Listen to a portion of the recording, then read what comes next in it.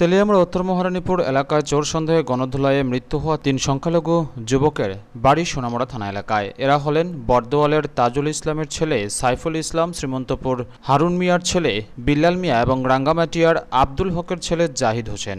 আজ মৃত যুবকদের বাড়িতে যান কংগ্রেসের এক প্রতিনিধি দল। প্রতিনিধি দলে ছিলেন প্রদেশ কংগ্রেসের প্রাক্তন সাধারণ সম্পাদক মুজিবুর রহমান, এনএসইউআই রাজ্য সভাপতি রাকেশ দাস, বিশিষ্ট আইনজীবী তথা প্রদেশ কংগ্রেসের মাইনরিটি সেলের চেয়ারম্যান জয়দুল হোসেন সহ অন্যান্যরা।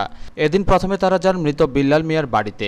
সেখানে কথা বলেন বিল্লালের পরিবারের সদস্যদের সঙ্গে। পাশাপাশি তাদের পরিবারের প্রতি সমবেদনাও জানান তারা। মৃত বিল্লালের দু বছরের ছেলে সন্তান রয়েছে। বিল্লালের পরিবারকে পাশে নিয়ে মুজিবুর রহমান ঘটনার নিন্দা জানিয়ে বলেন মহকুমার তিনজন যুবককে নৃশংসভাবে হত্যা করা হয়েছে, আঙুল কেটে, হাত কেটে নৃশংসভাবে বিনা বিচারে তাদেরকে হত্যা করা হয়েছে।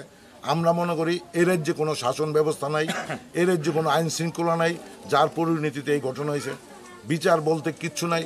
আমরা এই পরিবারের তিনটা পরিবার সোনামুড়াতে সীমন্তপুরে তারপরে ইয়ে, রাঙামাটিয়াতে একটা পরিবার তারপরে বরদোলা আরেকটা পরিবার নৃশংসভাবে যুবকদের হত্যা করেছে।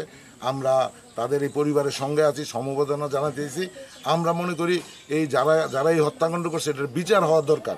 কী কারণে? এই সব যুবককে হত্যা করা হলো যদি কোনো অপরাধ করে থাকে, তাহলে আইন আছে, আইনের রাস্তায় যাবে, আইন শাস্তি দেবে।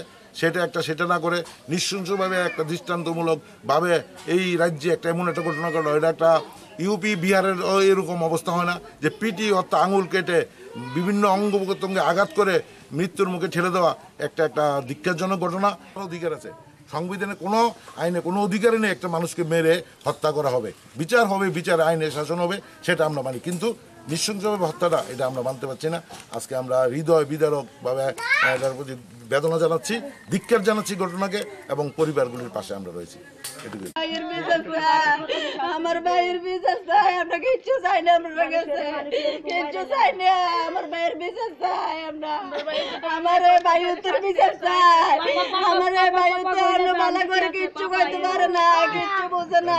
এরপর তারা যান রাঙ্গামাটিয়ার জাহিদ হোসেনের বাড়িতে। সেখানেও তারা কথা বলেন মৃতের পরিবারের সদস্যদের সঙ্গে। এরপর যান বর্দোয়াল স্থিত সাইফুল ইসলামের বাড়িতে। কথা বলেন পরিবারের সদস্যদের সঙ্গে। প্রায় প্রতিটি পরিবারের করুণ অবস্থাই পরিলক্ষিত হয় এদিন।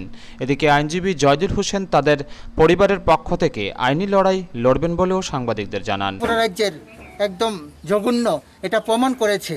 তাই আমরা, আমি একজন আইনি, আইনজীবী হিসাবে আমি তাদের হয়ে এই আইনের লড়াই লড়তে চাই এবং যতটুকু পর্যন্ত এটা বিচার না পাই ততক্ষণ আমি এটা ক্ষান্ত হব না, আমি চালিয়ে যাব। তাই আমি কথা দিচ্ছি তারা বাড়িতে এবং আপনার সাংবাদিকের সামনে সব কথা দিচ্ছি। আমার আইনি লড়াই, আমি লড়ে যাব। ব্যুরো রিপোর্ট, খবর ত্রিপুরা।